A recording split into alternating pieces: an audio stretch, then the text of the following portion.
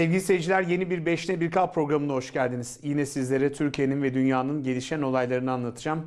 Biraz çatal bir ses tonuyla geliyorum. Çünkü sağım solum herkes gribe yakalanmış durumda.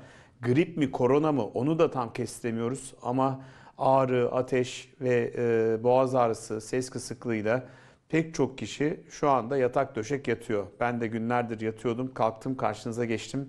Biraz olsun dünyadaki olayları sizlere anlatayım istedim. Haftanın en önemli dış gelişmelerinden bir tanesi Cumhurbaşkanı Erdoğan'ın Atina ziyaretiydi.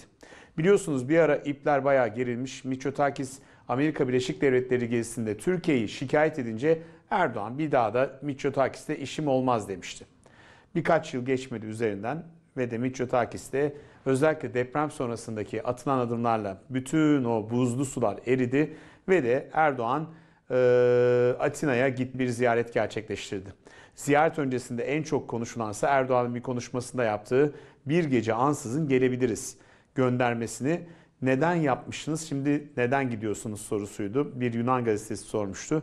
Biliyorsunuz bu slogan aslında e, Kıbrıs davasında yani Kıbrıs'ta özellikle 74 harekatı öncesinde çok popüler bir şarkının Kıbrıs Türkleri tarafından Rumlara karşı söylenmesiydi. Bir gece ansızın gelebiliriz. Ona bir göndermeydi aslında.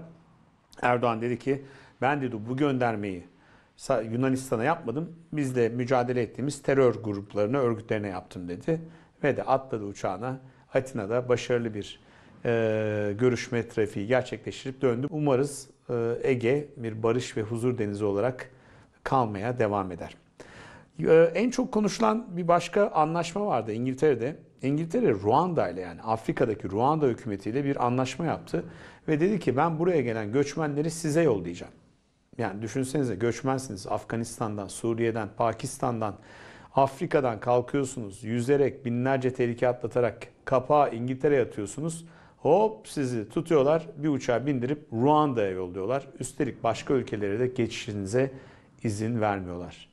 İşte bu korkunç anlaşma İngiltere ile Ruanda arasında imzalandı. Ee, bu hafta en çok konuşulan konu e, Time'ın seçtiği yılın insanlarıydı. Tyler Swift.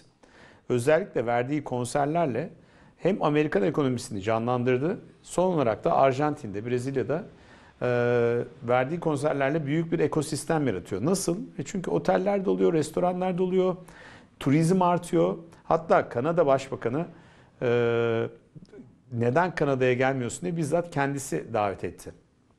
Ben de benzer bir gelişmeyi Türkiye'deki yetkililere sordum. Turizm Bakanlığı yetkililerine. Biliyorsunuz eskiden büyük konserler yapan sanatçılar gelirlerdi.